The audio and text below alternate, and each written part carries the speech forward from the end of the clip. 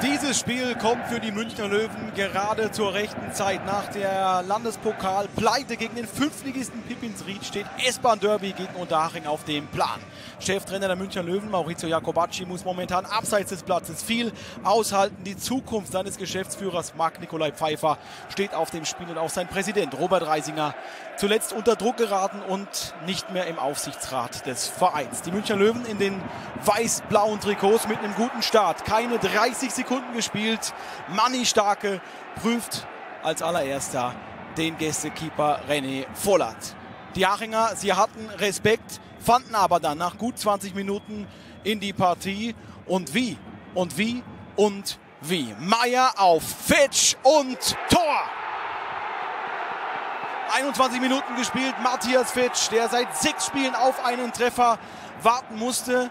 Aber was für eine Vorarbeit ist das denn bitteschön von Sebastian Mayer, der selber neun Jahre für die Löwen spielte, 24 Mal zweite Fußball-Bundesliga. Der weiß einfach, da vorne lauert immer ein Hopsch oder ein Fetsch.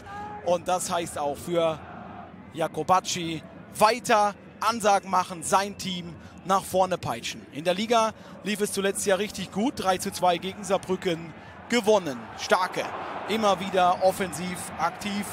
37 Minuten gespielt. Die nächste Chance für 60 München.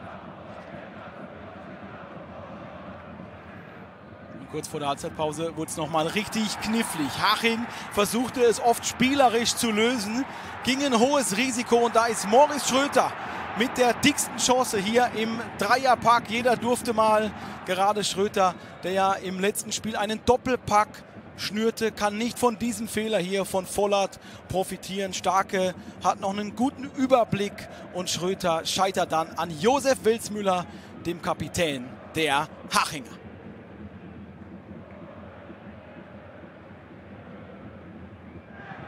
Für die Haching-Fans hieß es zur Halbzeit hüpfen und feiern und den Löwen bleibt aktuell nur der Kultfaktor. Im zweiten Durchgang dann weiterhin weiß-blaue Offensiv-Power. 50. Spielminute Morris Schröter, der Doppelpacker vom Saarbrücken-Spiel mit der nächsten guten Möglichkeit.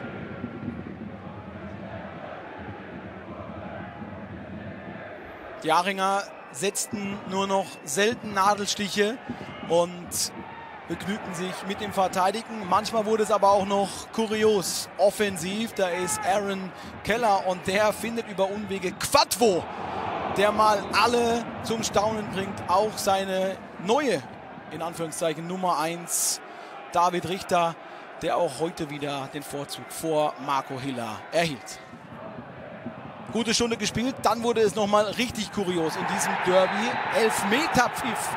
Weidner im Zweikampf mit Schröter für den jungen Timo Gansloweit. Reicht das hier zum Strafstoß? Alle waren irritiert. Selbst Schröter wollte weiterspielen und nimmt diesen Elfmeter-Pfiff schmeichelhaft an. Es gab Kontakt, aber von beiden Seiten das viel Glück für den TSV. Und Schröter geht auch ran an den Elfer, aber er scheitert am starken René Vollert. Und für Schröter entwickelt sich das Ganze zu einem Heimfluch. Alle vier Tore auswärts gemacht. Auch diese Riesenchance lässt er liegen. Und Vollert, der hat nicht umsonst schon siebenmal zu Null gespielt in dieser Saison. Die Löwen probierten jetzt wirklich alles und feuerten aus allen Lagen. Es war aber das Spiel hier in dieser Situation unterbrochen und das ist Folgen schwer. Aus Sicht von Michael Glück, der sich gelb vorbestraft zu dieser Geschichte hier hinreißen lässt, weil er nicht weiterspielen durfte. Und das hieß Gelb-Rot für ihn. Harte Entscheidung von Timo Ganzloweit. Die Löwen dann in Unterzahl weiter mit allem, was ging. Markus Schwabel rettet vor Quadvo. Er hat auch eine ganz kurze Löwenvergangenheit. Der Außenverteidiger der Hachinger und das Schneetreiben entwickelte sich zu einem Sturm. Kurz vor Schluss hatten die Hachinger nochmal die Möglichkeit in Überzahl. Fetsch in der 89. hätte hier alles klar machen können.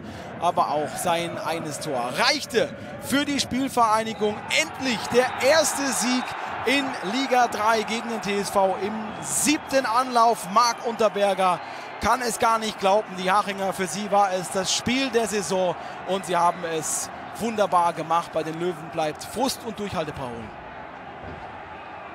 Brand zu löschen schaffen einfach, indem man einfach ganz, also was heißt ganz normal weiterarbeitet, man muss weiterarbeiten und ähm, da werden wir gemeinsam als Mannschaft wieder die Köpfe zusammenstecken und, und äh, gestärkt aus dieser Situation kommen.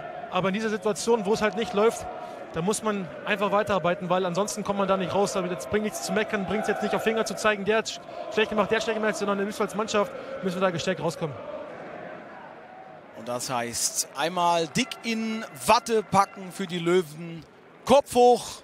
Nächste Woche geht es weiter, aber der S-Bahn-Derby Pleitengang, der hat heute richtig wehgetan. Alle Spiele live, nur beim Magenta Sport.